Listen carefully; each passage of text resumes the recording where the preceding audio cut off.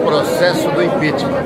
Processo feito pelo doutor Hélio Bicudo Juntos, dois, dos mais especialistas na área jurídica brasileira, apoiado por todos os partidos da oposição e, lógico, pelo nosso Partido de Solidariedade. Iniciamos aqui hoje, então, um processo para valer, para derrubar Dilma Rousseff e acabar com essa era do PT. Vamos juntos, uma mobilização total da sociedade para que a gente possa definitivamente resolver e fazer com que o país possa voltar a crescer, desenvolver e ter emprego. Com